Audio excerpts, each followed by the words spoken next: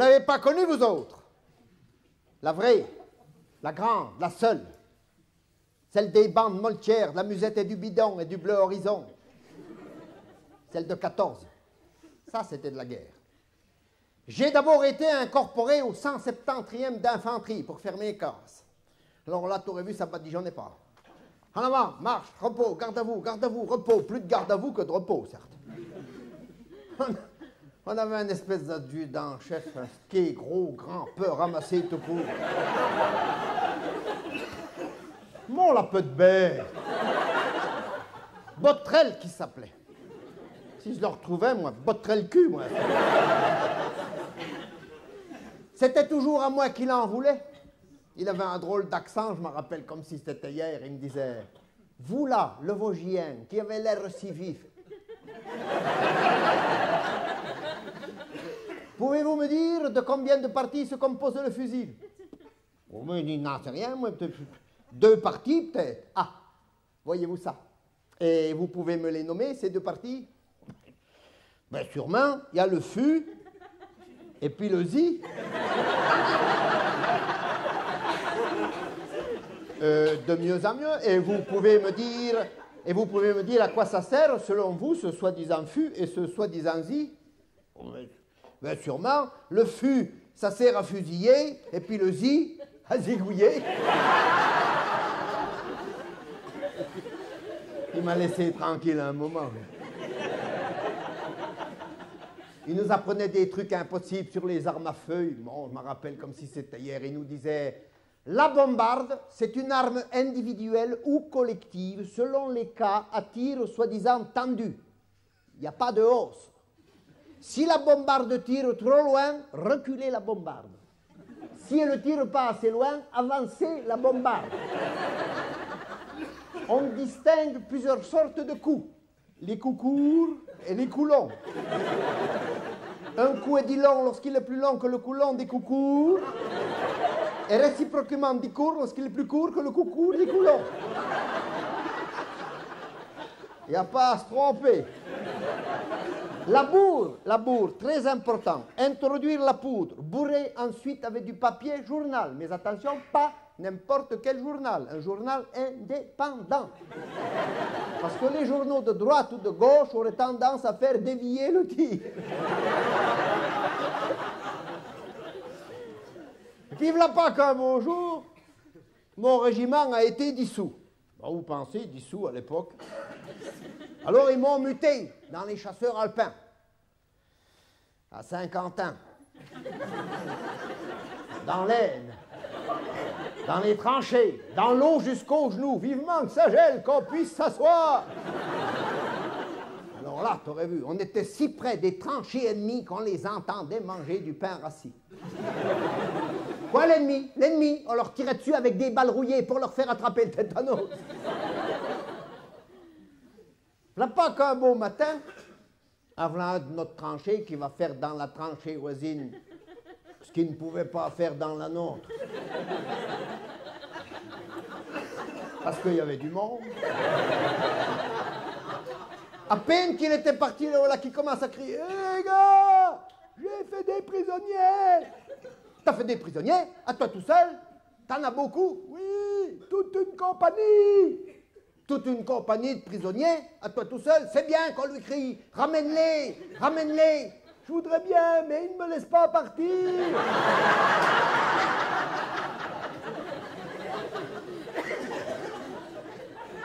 Ça, c'était de la guerre. Les pétants, les rasants, les retardements et tout le tremblement, ça en était fatigant. Un beau matin, on n'entend plus tirer.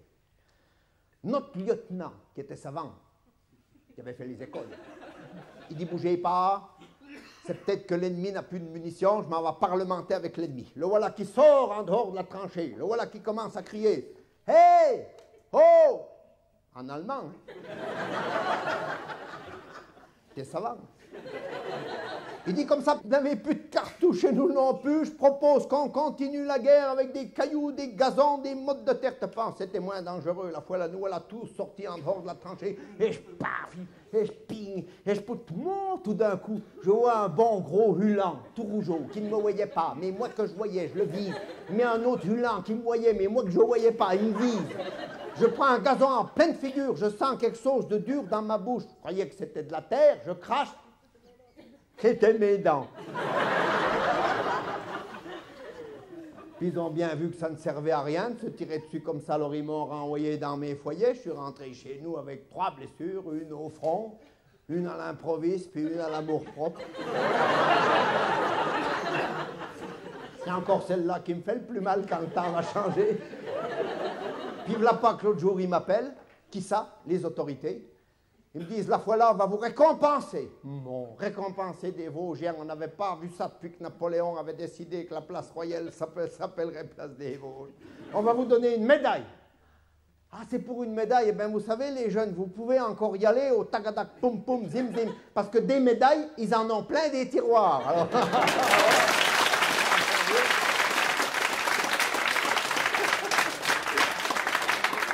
Ça va? Vous tiendrez le coup? Bien sûr, vous êtes assis. Eh, attends. Vous permettez que. C'est qui a dit non Au piquet là-bas Ah non, non, figurez pas que je vais rester debout jusqu'à 4 heures du matin, moi. 4 heures, vous avez pris des couvertures, hein? Parce qu'ils ferment le chauffage à minuit. Ben, c'est gentil ceux qui ont dit que je pouvais m'asseoir, je suis content, merci. Mais ils ont dit que je pouvais, mais moi, il faut que j'y arrive. Non, non, parce que quand tu as 20 ans, tu te mets debout, tu te rassois, tu vas, tu viens, tu hues, tu dis, ah, tu ne te rends même, tu ne te rends même pas compte de ce que tu fais quand tu as 20 ans. Mais une paire d'années après, tu sais, se mettre debout, se rasseoir, ça, devient une expédition. Hein. Tu penses la veille.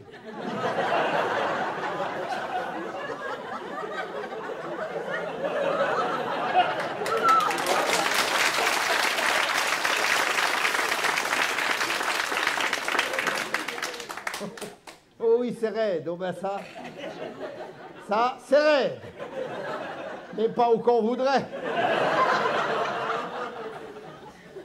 Ça verra, en vieillissant, les raideurs changent de place. Voilà, ah bon, on est tout bien ici. Ils ont bien la belle salle, à la, MCL, à Gérard. Mais hein, c'est bien, on est bien assis, hein, c'est bien chauffé et tout, hein, hein. On est bien éclairé aussi. Hein. Enfin, moi plus que vous, mais bon. Voilà.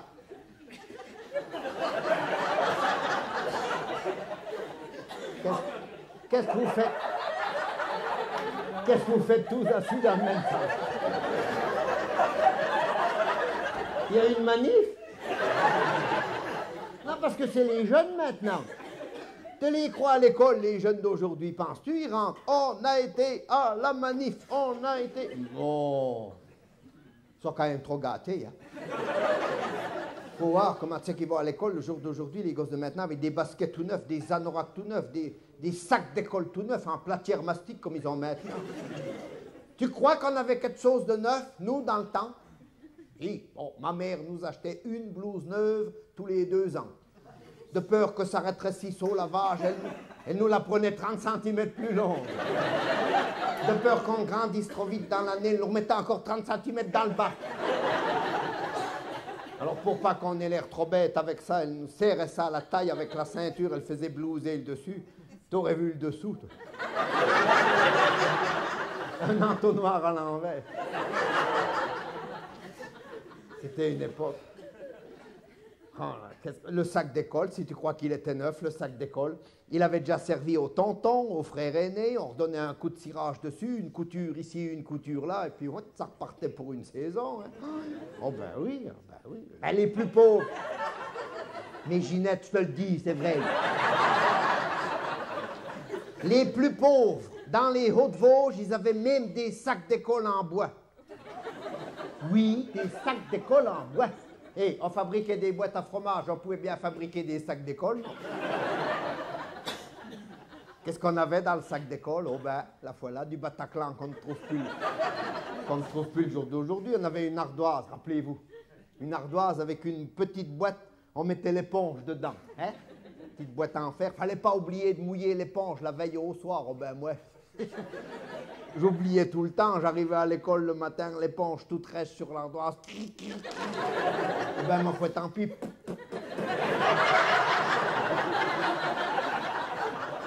Ça sentait drôle après. Hein? C'était une époque, hein, certes. Il y en a de ceux qui s'en rappellent. hein. On arrivait le matin à l'école, on chantait Maréchal, voilà. On buvait de l'huile de foie de morue. C'est vrai, hein? On arrivait avec sa cuillère et puis à 11h30, l'instituteur, une grande rasade d'huile de foie de morue. Fallait pas oublier de dire merci avant de sortir pour être sûr que tu avais avalé.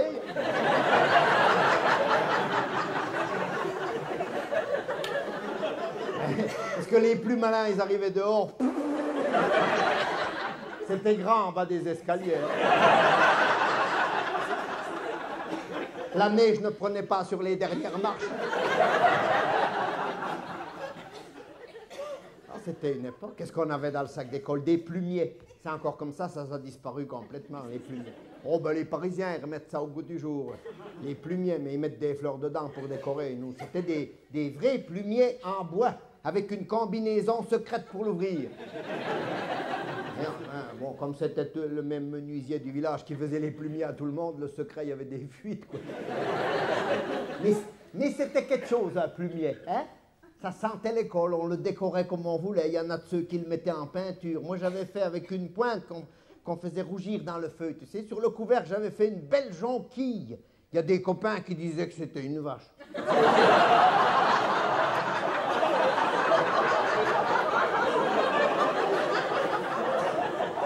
C'était une jonquille. D'abord, c'est moi qui l'avais fait. Voilà tout. Et puis, euh, qu'est-ce qu'on mettait dans le plumier Des porte-plumes? Ah ben ça, ça, a disparu complètement, les porte-plumes. Tu te rappelles des porte-plumes? Avec des vraies plumes au bout qu'on mettait, des plumes euh, sergent-major hein?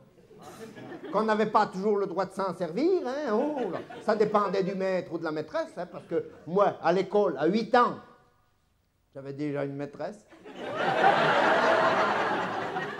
Ça m'a pris à bonheur. Et à la maternelle, j'avais déjà une maîtresse. Je l'aimais bien, celle de la maternelle, parce qu'elle m'aidait à faire pipi. Et puis à la grande école que ça aurait commencé à être intéressant, elle n'a plus voulu.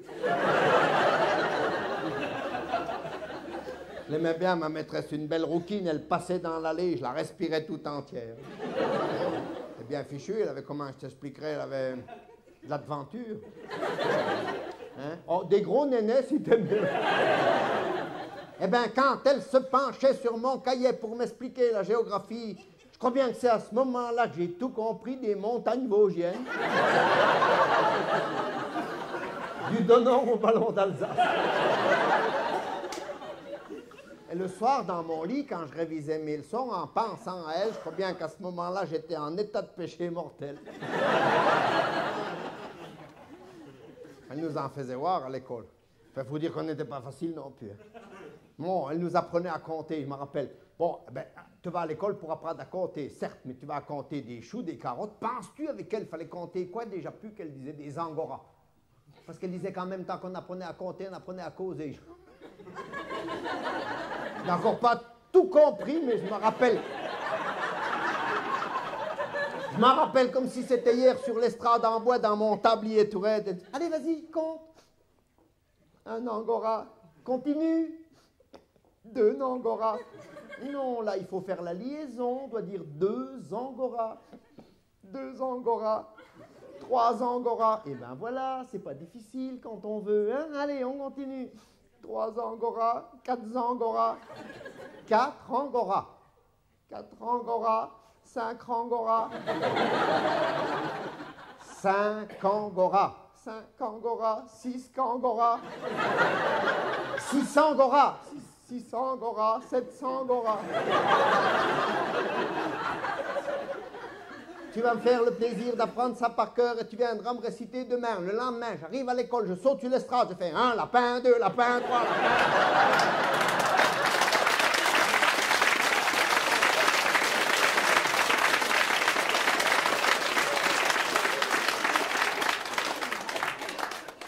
Tu sais, on aimait bien la maîtresse. On aimait bien l'école à cause de la maîtresse. On aimait mieux l'école que la récréation, c'est pour te dire. Parce qu'à la récréation, la maîtresse, elle s'occupait plus de nous. Ah non, elle allait causer avec l'instituteur de la classe des grands et puis nous. Il n'y a qu'un endroit qu'on rigolait un peu à la récré, c'était au cabinet. Je t'explique. Enfin, sent bien le bout. Mais si, comme pour faire de la musique avec le ballon de la fête.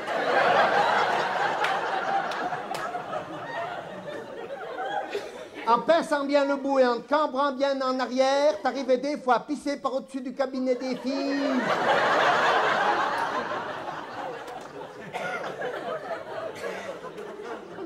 On les entendait rigoler de l'autre côté. Elles croyaient qu'on leur trissait de l'eau. Ben, oh ben, on aimait bien la maîtresse. Alors c'est encore comme ça, ouais, tu, quand la maîtresse ne venait pas à l'école pour un oui, pour un non, qu'on ne savait pas, on a toujours la raison. Alors là, on se déméfiait. On se dit, allez, la maîtresse n'est pas là, tout le monde chez l'instituteur. Mon, moi qu'on n'aimait pas ça. On ne l'aimait pas, celui-là. Non, qu'on ne l'aimait pas. Cul blanc, qu'on l'appelait. Cul blanc, parce qu'il avait pris l'habitude de se gratter le troufignon avec les doigts pleins de crêpes. hein.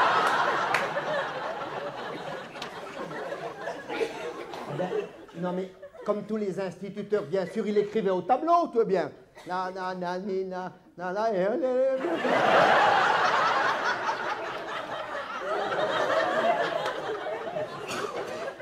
blanc. On aurait cru un chevreuil.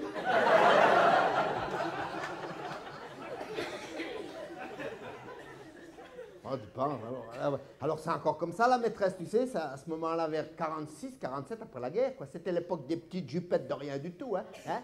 Ça revient un peu, hein. Oh ouais, hein, ça revient, hein. Ouais, mais combien, moi, bon. Alors la maîtresse, quand elle passait dans l'allée avec sa petite jupette et puis qu'elle se penchait sur le cahier de celui qui était devant moi, je laissais tomber ma gomme. Bon, mais si elle me voyait, ça bardait. Ah ben tu penses, j'étais puni. Hein. Je m'en fous, avec elle, j'aimais bien être puni. Elle nous mettait au piquet. Bon, tu sais où c'était le piquet chez elle, sous son bureau. Eh bien, si elle avait un bureau, comme s'expliquait tout à l'heure, en hauteur sur une estrade, tu tout fermé devant, eh bien, elle nous mettait là-bas au fond, près de ses pieds. Non, j'en ai passé des heures là-dessus.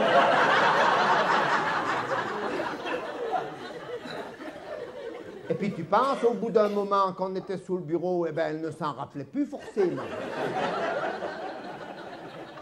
La elle continuait à faire la classe aux autres, et puis, eh, qu'est-ce que tu veux, c'est bien normal. Des fois, elle se laissait un peu aller, alors elle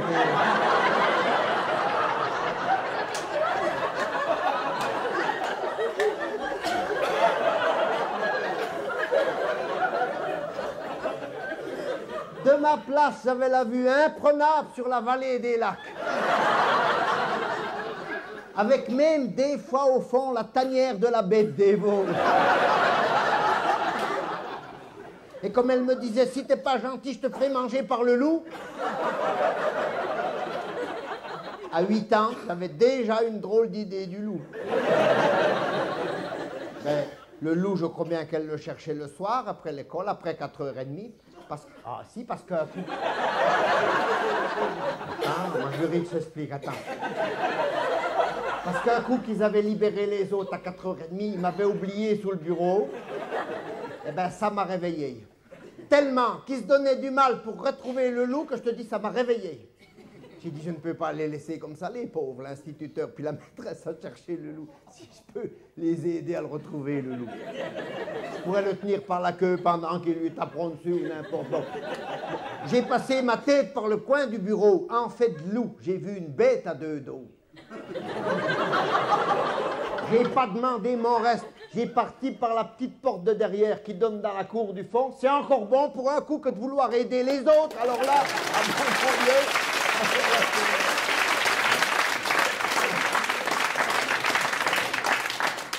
Ah ben, il y a de l'ambiance. Alors, tu vois, en ce moment, comme c'est le printemps, qu'on ne le dirait guère, mais que c'est le printemps quand même, eh bien, pouf, le soir, quand on a une dure journée de labeur, eh ben, je mets deux chaises devant la maison. Puis avec ma femme, on s'assoit sur les deux chaises, on regarde passer les autos, tout ça. Tout.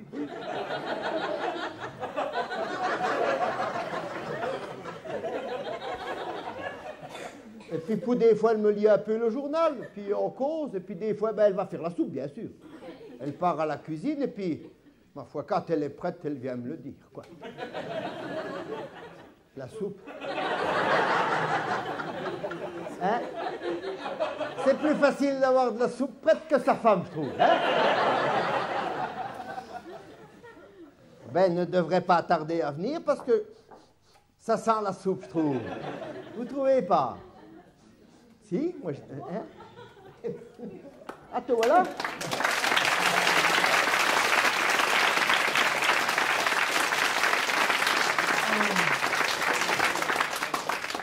Te voilà, tu regardes pas la télé Ta télé, tu sais bien qu'elle marche plus bien. Il n'y a plus qu'une chaîne qui marche. Banane pluche. Et puis comme tu veux pas acheter le décrotteur, Si tu veux une autre chaîne, il y a mon vieux vélo sur le grenier. bon, j'ai vu la Marguerite qui demande ce matin, ben tu sais qu'elle va pas bien. hein. Ah. ah, le docteur a venu, il lui a dit qu'il faudrait lui reficeler une manche en plastique. Pas une manche, une hanche. Je me disais aussi une manche à la cuisse. en tout cas, ce qu'il y a de sûr, c'est que c'est en plastique. hein. Oui, ah ben, si c'est le même plastique que l'arrosoir que tu as acheté au marché, qui fuite partout, la marguerite, elle risque d'avoir des fuites aussi. Non, mais c'est vrai, dans le temps, il faisait du vrai plastique, il faisait du plastique en fer. Tu te rends compte qu'ils vont l'emmener à l'hôpital? Ils lui ont fait un examen d'urine. Elle a été reçue. En tout cas, elle a rangé. hein. Oh, je l'ai vu ce matin marcher au marché. Elle avait du mal à monter les marchés. Et en parlant de marché, quand est-ce qu'elle prendra son pied? Qu'est-ce que tu Le racontes? pied de tomate que je lui ai mis de côté. Oh, la Marguerite qui mange. Pourtant, c'était une belle fille. Quand elle était jeune, elle mangeait des œufs mollets pour avoir des belles jambes. Oui, oh, heureusement que l'Albert l'a marié aussi. L'Albert, ça c'était un gaillard, lui, il pétait le feu. Tu parles Il a brûlé leur lit.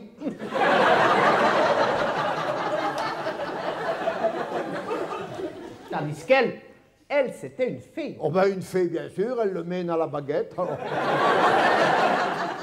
N'empêche que son homme à la Marguerite qui mange, lui, il lui a acheté un vison. Je connais l'histoire. Le vison, c'est elle qui nettoie la cage tous les matins. Oui, mais ça, c'est parce qu'il l'aime. Hein? Et puis toi, si tu m'avais vraiment aimé, tu te serais marié avec quelqu'un d'autre.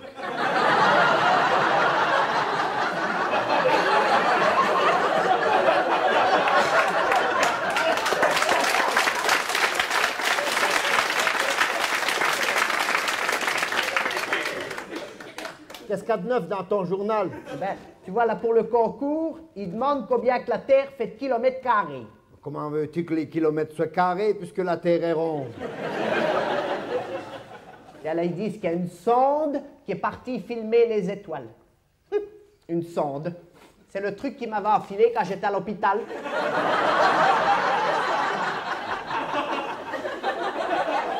Non, parce que la tienne, n'était pas dans les étoiles.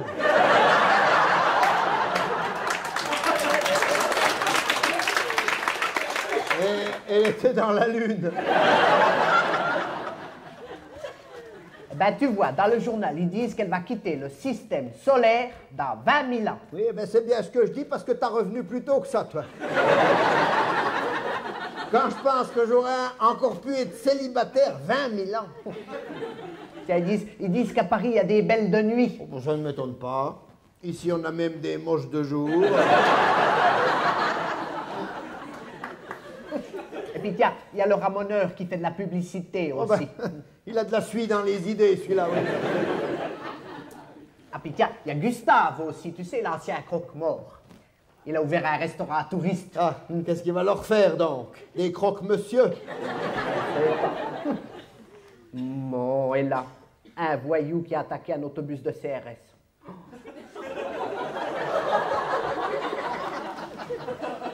Mais pourquoi qu'ils disent qu'ils voulaient manger du flic Peut-être qu'il vous laisse farcir un quart de poulet Tiens, dimanche, c'est le prix du président de la République. Ah, Oui, oui. combien qu'ils le vendent Je ne sais pas.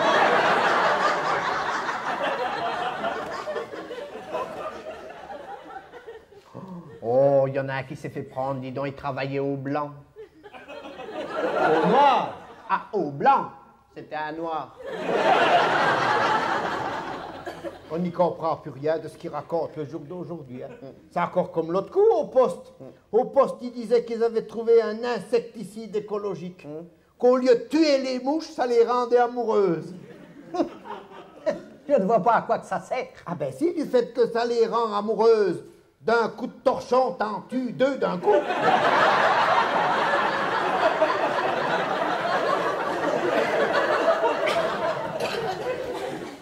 T'en mettrai dans ton café du truc là. Oh, il y a encore un voyou qui a attaqué une dame seule, dis donc. Il l'a baïonné, il l'a violée. Il n'a pas trouvé sous. On peut dire qu'elle a eu de la chance, celle-là.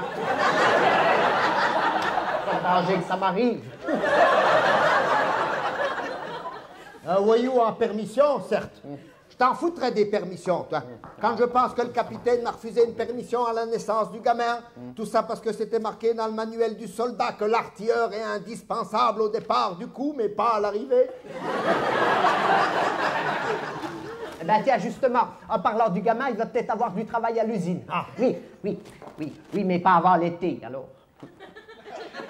Mais pourquoi seulement en été? Parce que le patron lui a dit, il fera chaud quand je vous prendrai chez moi.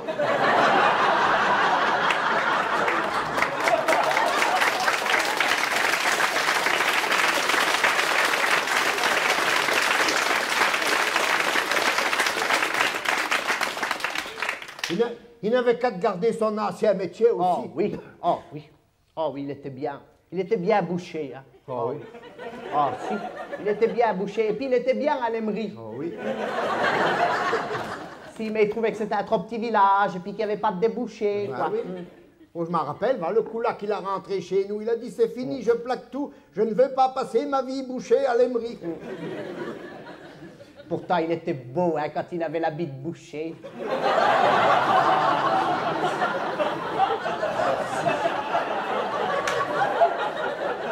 Ah. Il n'avait qu'à de le garder son habit aussi. Au lieu d'aller mettre enceinte la petite qui fait la vaisselle à l'auberge. là, hein.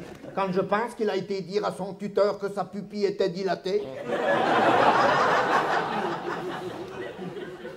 Comment il va faire vivre sa famille? Il va bien chez le cordonnier le samedi, mais Mais chez le cordonnier, c'est du travail à la petite semelle. comment il va payer son auto? Ah ben, tu parles d'une auto. Il paraît qu'il l'a racheté à l'ABS, qu'elle a un tube qu'à catholique. Et puis un double arbre à cam, je sais pas quoi. Et il ira les faire pousser où qu'il veut, ces arbres. hein. Moi, je ne veux pas de drogue chez nous. Parce qu'un arbre à cam, ça peut être que du cachiche.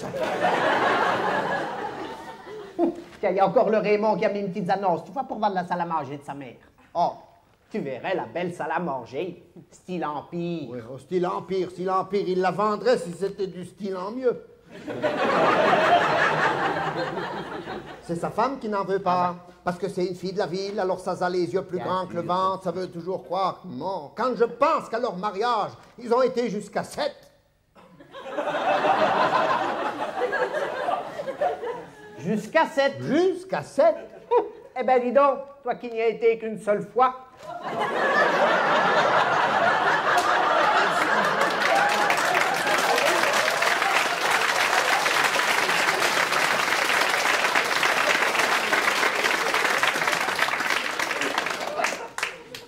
C'est la sœur de la dame là, la pchotte. Oui, oh. C'est une, oh, c'est une maligne, on voit bien, c'est une parisienne, tu sais.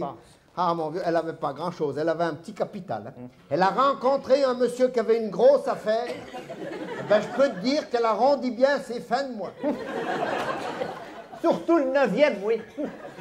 En tout cas, toi, ça risque plus de t'arriver. Ça fait longtemps qu'elle est coulée, ta grosse affaire.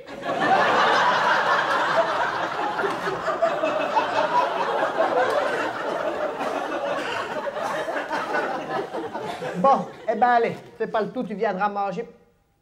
Mais- T'as le pantalon tout mouillé? J'ai pissé dedans. Mais comment t'as fait ton compte? Eh ben, c'est pas de ma faute. Ah oui. Mais c'est ça, euh, c'est à cause de ces sacrés bonsoirs de lunettes à double foyer aussi. Oh ouais, double là-dedans. non mais, moi je pissais tranquillement, je baisse les yeux, j'en vois deux. Une grosse tout près, puis une petite par terre. Alors je m'ai baissé pour ramasser la petite, puis continuer à faire avec la grosse.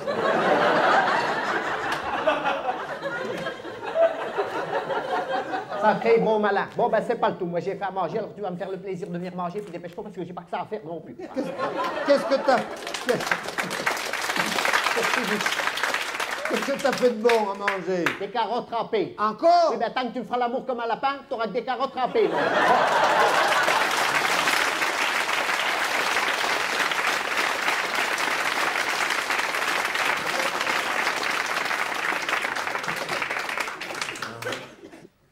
Et les filles à Paris, t'as vu, les bouts de gym qu'elles mettent, des bouts de gym serrés, tellement serrés qu'elles peuvent plus péter. J'ai un cousin à Paris, il a des enfants, le, dernier gamin qui. Ouah, il est tout gris. Parce qu'à Paris, il respire de l'air qui a été pété trois fois, il est tout gris.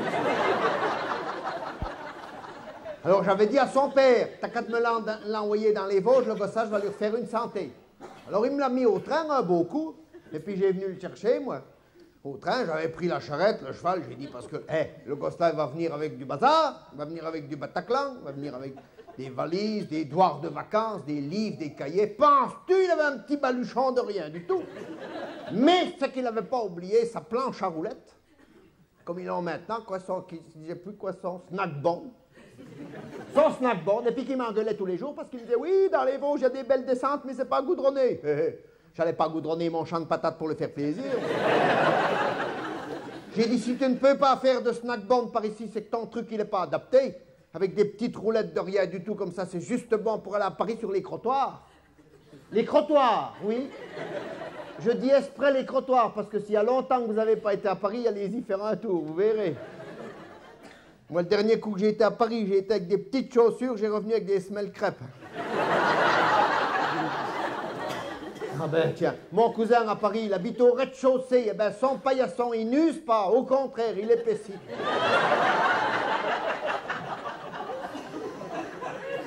Alors pour avoir la paix, moi je lui ai dit comme ça, je t'en ferai un, des snackbones.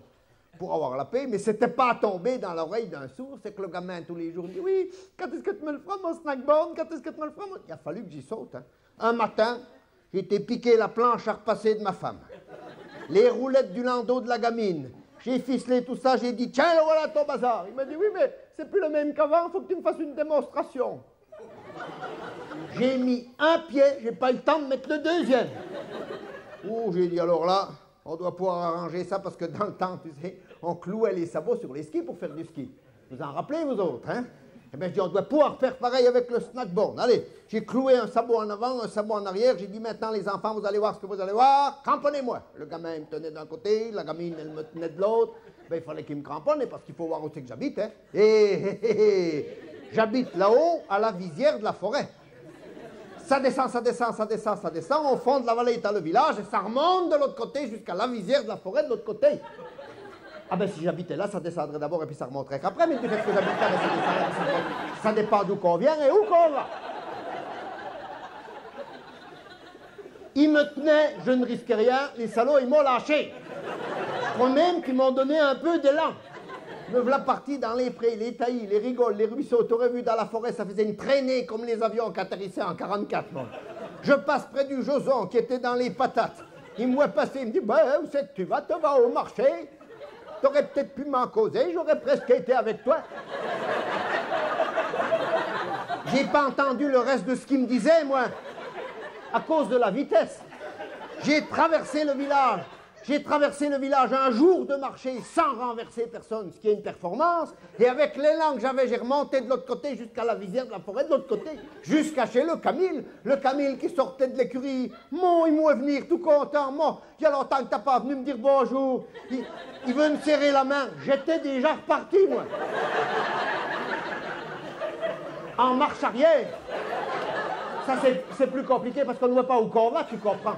Le, le premier coup, en venant, j'avais passé discrètement derrière l'église. En revenant, j'ai pas pu faire autrement, j'ai passé en plein vent. Il y avait l'enterrement qui sortait, j'ai passé au milieu du corbillard entre le cercueil et la toiture. Voilà Au passage, j'ai chopé le drap noir. Les gosses qui criaient Maman, c'est Zorro Mais non, Zorro fait pas de snackborn. Mais si, c'est une nouvelle série. Et avec l'élan que j'avais, me voilà reparti de l'autre côté jusqu'à. Je passe près du Josan qui était toujours là, les patates. Il me voit revenir, il me dit, ben, t'es déjà revenu du marché. Tu pars en bras de chemise, tu reviens en pèlerine. J'ai dit une fois chez nous, les gosses vont faire quelque chose pour moi. Ils vont pas me laisser comme ça, ils vont me cramponner. Penses-tu Ils avaient fait des traits par terre pour voir jusqu'où que j'irais. Ils faisaient le loto. Ils m'ont renvoyé 43 voyages. Tout le monde en avait pris son parti dans le village. Ils me voyaient arriver et crier Sauvez-vous le v'là Les pompiers qui arrosaient à cause de la poussière. Le chef de gare qui disait Tiens, il a mis 13 secondes de moins le coup Puis les touristes, les touristes qui ont toujours peur pour un oui, pour un non, qui criaient Sauvez-vous, v'là l'OVNI V'là l'OVNI, v'là l'OVNI. Tu penses, les gens du pays qui me connaissent bien, ils disaient Mais non, Vanoni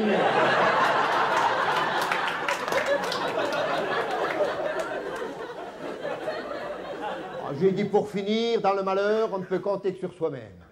Au dernier passage, j'ai chopé la rambarde du monument de 14-18. Prrr, prrr, prrr. C'est la force centripète qui m'a envoyé valdinguer. J'ai retombé au milieu du marché, le cul dans une corbeille d'œufs. Ils ont tous venu voir en courant. Ça va, t'as pas de mal, t'as rien cassé? Oh, euh, ça va, ça va, mais je crois bien quand même que je couvre quelque chose.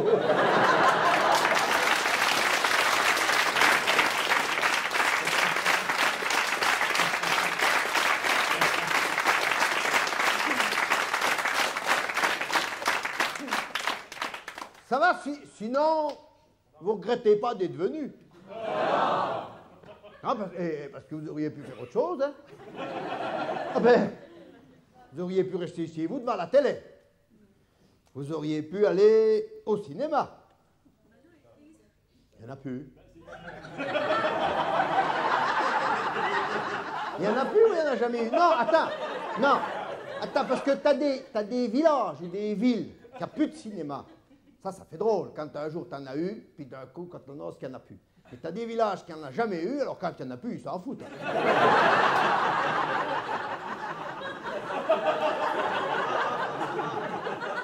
Et ça, d'un coup, c'est vrai, si on te dit qu'il n'y a plus de cinéma, comme nous à Gérardmer, on a encore un cinéma, mais on n'a plus de train. ben. Tu sais, ça, ça fait drôle, hein. D'un coup, comme ça, on t'annonce, il n'y a plus de train, ben, tu sais. Oh, le prenez jamais, hein.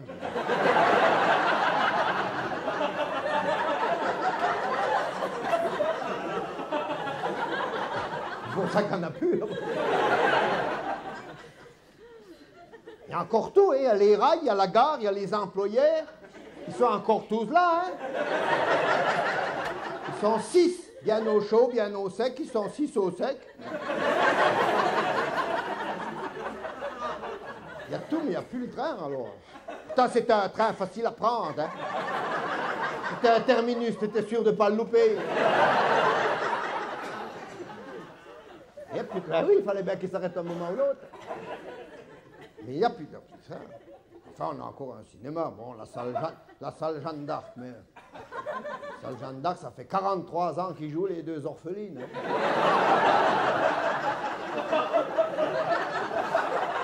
En noir et blanc.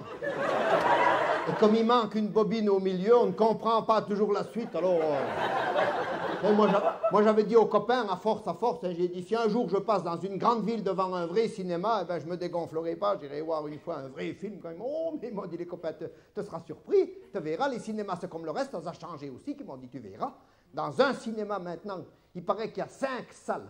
La salle numéro 1, numéro 2, numéro 3, numéro 4, numéro 5, tu prends ton billet, tu vas où tu veux. Moi, je te crois que c'est ça qui va me gêner, moi peut-être bien. L'autre coup, je passe à Nancy devant un grand cinéma comme ils ont le jour d'aujourd'hui, tu sais, les grands cinémas, hein, avec des tubes au nylon, des grignotants en couleur. Pour tirer l'œil du client. Et, euh, J'avais vu une affiche. J'avais vu une affiche qui me plaisait encore bien, toi, un film de cowboy. Il encore bien, moi. Un bon film, hein, tu l'as peut-être déjà vu. Il était une fois dans l'Est. Avec Tyrone Pullover. Et Barbara Sandwich. Je prends mon billet pour aller voir un film de cowboy. Je ne sais pas comment que je me débrouille dans le couloir. Voilà pas que je me trompe de fil. J'arrive dans la salle. Mon... Le déballage. Il y avait bien un cowboy à cheval, mais il n'avait pas les éperons à la bonne place. Et qui s'en donnait du mal pour rentrer le chariot dans la grange. Il y avait toujours les roues arrière qui restaient sur le trottoir. J'ai dit, c'est pas comme ça qu'il va faire demi-tour, au fond, hein. J'aurais dû m'en douter que c'était un film comme ça parce que quand je prenais mon billet à l'entrée, en même temps que moi, à la caissière, il y avait des étrangers qui étaient là aussi qui disaient Pardon, madame, qui excuse, j'ai demande comme ça, j'ai seulement pour savoir, j'ai demande comme ça, c'est pour nous. Hein? Qu'est-ce que vous racontez, vous autres? Non, madame, j'ai demande comme ça, juste pour savoir, seulement, c'est pour nous ou c'est pas pour nous Bien sûr que c'est pour vous les billets, puisque vous les avez payés.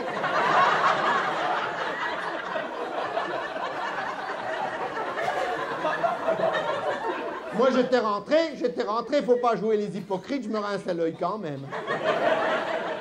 Faut voir, ma pauvre dame, comment c'est filmé. Il y a des moments, c'est filmé tout près. C'est filmé de tellement près qu'on a même les odeurs. C'est ça qui surprend d'ailleurs, quand tu rentres dans la salle, ce qui saute au nez, c'est les pieds. La santé par les plantes. Mais c'est gay, ça. Et non seulement c'est filmé de tout près, il y a même des moments, c'est filmé de par en dessous. Alors là, quand c'est filmé de par en dessous, la polka des olives. Je les retrouvais, les orphelines de la salle Jeanne d'Arc, tu vois. En plus ridées qu'à la salle Jeanne d'Arc. Mais en couleur. En plus, c'est rigolo parce que tu as les placeuses avec la lampe électrique, tu sais. Oh ben, alors elles sont vaccinées parce que le film, elles l'ont vu 428 fois, vois-tu. Alors elles sont assises dans un coin, elles papotent entre elles, elles racontent les commissions qu'elles ont faites dans la journée, les, rec- les recettes de cuisine et tout et tout. Oh non, non, oh, non, non. Moi, je ne fais pas comme ça, voyez-vous. Moi, la saucisse, moi, je l'enfourne au dernier moment, oui. Ah ben, les rognons, faut pas les brusquer, les rognons. Moi, je les fais revenir tout doucement, les rognons. Ah oui? Oui, À feu doux, les rognons. Oh ben, certes, oui. Ah ben, la crème fouettée, moi, je la monte à la main, elle est bien plus... Et pendant ce temps-là, sur l'écran, le cow-boy, il donnait pas sa langue au chat. Hein. Il s'était déguisé en jardinier, il leur sarclait le père. Hein. On y en amenait des grandes, on y en amenait des petites, on y en amenait des brunes, on y en amenait des blondes. C'était jamais les mêmes dames, c'était toujours le même cow-boy. Tu ne me feras pas croire qu'ils ont tourné le film-là le même jour avec le même cow-boy, non? Ou alors ils ont fait comme dans les vrais films de cow-boy, il a tiré, tiré, tiré, il n'a pas pris le temps de recharger. Je pas qu'à un moment donné, au cow-boy sur l'écran, il lui ramène une grande blonde, toute nue, avec des sabots.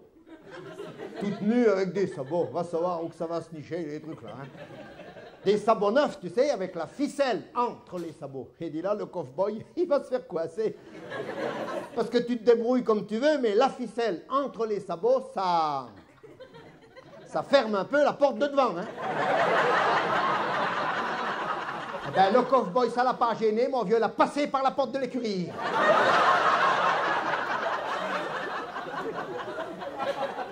Et la dame qui était avec le cowboy sur l'écran, à force, à force, à force, la voilà qui attrape des chatouillis, la voilà qui commence à faire Ah non, ah non, ah non, ah non. Il y a un imbécile qui arrive en retard, qui dérange tout le monde, tout le monde se met debout, nous dans le fond, on criait Ah si, ah si, ah. C'est bon pour un coup, encore une fois aussi, à c'est.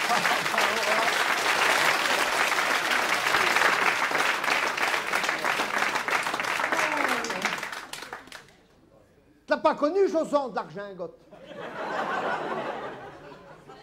Joson de l'Argingote. Eh, l'Argingote, c'est pas son vrai nom. Hein.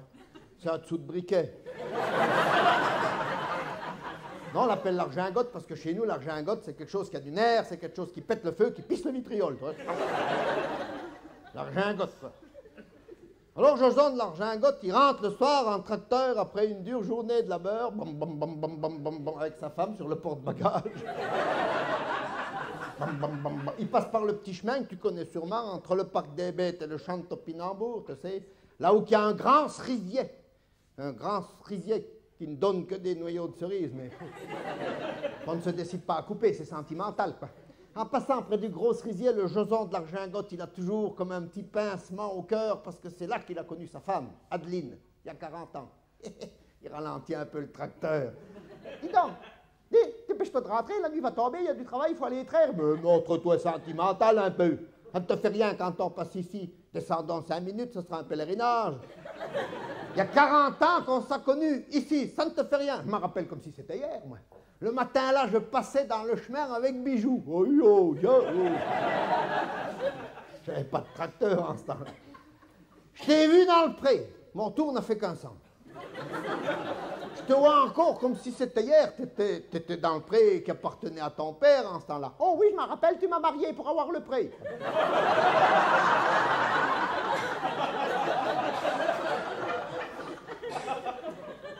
je t'ai vu dans le pré, alors je t'ai fait coucou. Puis tu m'as fait coucou. Non, non, non. Pas tout de suite. Alors, t'as venu un peu le long de la clôture, et puis moi aussi, puis on s'est causé un peu, et puis, et puis la clôture, là, c'était gênant. J'ai enjambé la clôture, je suis venu de ton côté, puis on s'est rembrassé une fois, deux fois, trois fois, puis on serait bien couché dans l'herbe, mais il y avait de la rosée. Alors je t'ai appuyé contre la clôture, et puis... Je m'en rappelle, à la hussard, avec le sabre et les bottes. Avec le râteau puis les sabots, quoi. Allez, c'est l'anniversaire, il y a 40 ans, on recommence. Mais t'es pas fou, mais qu'est-ce qui te prend? Discute pas. Il l'a rappelé contre la clôture, les voilà repartis comme il y a 40 ans, tac, tac, tac, tac, boum, boum. Seulement elle, au bout d'un moment.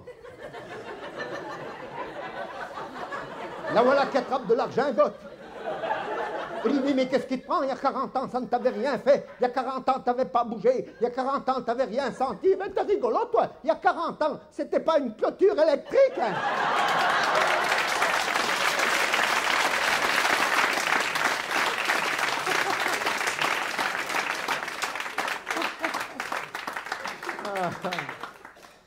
Il va quand même bientôt falloir penser à rentrer chez nous. Hein.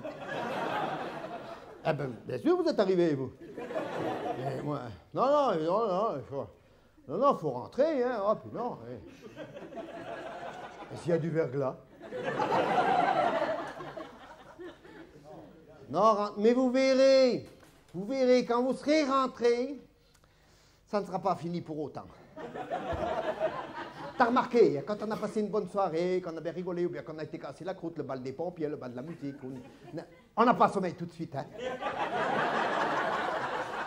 Les hommes, ça nous fait ça surtout. Hein. je trouve, on a les sangs échauffés. Hein. Moi, j'ai une combine, une fois au lit. En dessous des draps, avec le coude, comme ça, vous la toquez. Oui, oui, oui, ben si ça fait comme chez nous, elle aura mal la tête.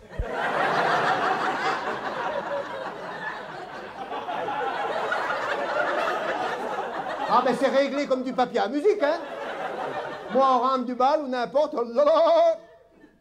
elle a mal la tête. Mais je lui dis, je m'en fous, ça me repose. C'est vrai que ça nous repose les hommes parce qu'on ne peut pas être partout non plus. Que t'es, toi, à côté de chez nous, ils ont fait comme ils font maintenant, une ferme auberge, tu sais, tu mon vieux. L'été a été rude. Hein. Il y en a venu des piottes parisiennes là-dedans, tout le long de l'été, avec des petites jupettes de rien du tout. Aïe Quand elles veulent visiter le grenier à foin, c'est moi qui tiens l'échelle en bas. hein. Tu les vois monter l'échelle avec deux belles jambes, deux belles jambes qu'on croirait les rails du train, t'imagines déjà la gare au fond du tunnel. hein. Ben, que la Jeannette était au marché, j'en ai coincé une des piottes parisiennes derrière, comme ça. Ah ben, elle n'a rien voulu savoir. Ah ben, j'ai dit, ça ne m'étonne pas, c'est bien une parisienne. Ah ben, parce que les parisiennes, ça fait de la réclame, ça monte la marchandise, mais ça n'ouvre pas le magasin tous les jours. hein.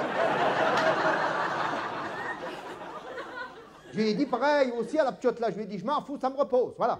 Et puis c'est vrai que ça nous repose les hommes, parce que c'est quand même plus fatigant pour nous les hommes que pour les femmes, le bazar là. Oh ben. Hein, messieurs, que c'est plus fatigant pour nous? Oui, bon, ils veulent pas crier trop fort, hein, s'ils veulent avoir quelque chose en rentrant. Hein, moi, je peux te le dire, j'ai eu trois gosses, mais chaque fois, j'ai marché trois semaines avec des béquilles. hein. Bon, bon, ça dépend, ça dépend comme tu t'y prends, certes. Si tu dis à ta femme, bon, je veux bien, mais dépêchons-nous, les copains m'attendent en bas pour jouer au tarot. oh. Ça, c'est pas fatigant. Hein.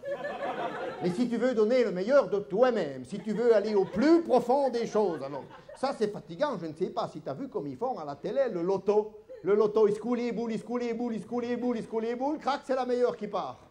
C'est comme ça que je fais, moi. C'est pour ça que c'est fatigant. Je te dis pas le mal que j'ai si je veux faire le numéro complémentaire.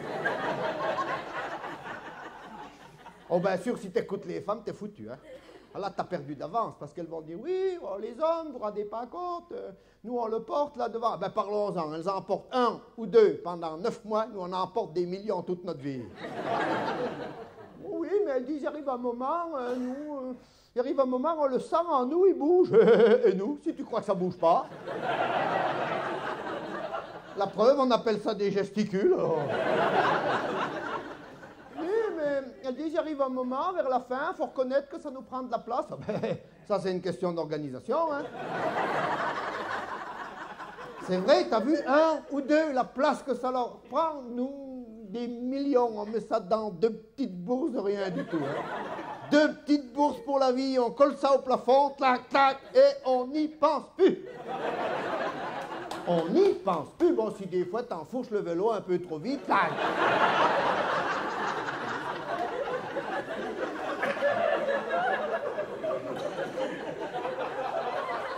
Ça rappelle à l'ordre.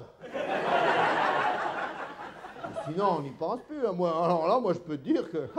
Alors là, je peux te dire que. Enfin,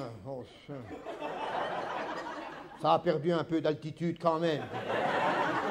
Je suis comme les vieux sapins des Hauts-de-Vosges, j'ai les branches du dessous qui font de l'ombre aux racines. La cime qui penche et les cocottes qui sentent le moisi. Alors, du fait que ça a perdu un peu d'altitude, comme ça, dis voir, quand je vais dans la forêt pour scier du bois, si j'ai pas le caleçon qui convient,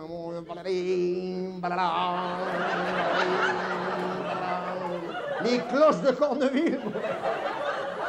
Rigolez pas, messieurs, vous êtes assis. Il n'y a rien de plus traite qu'un strapontin qui se referme trop vite. Et alors là, c'est les femmes qui rigolent.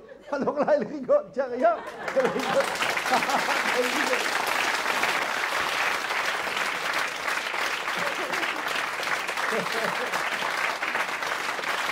Merci.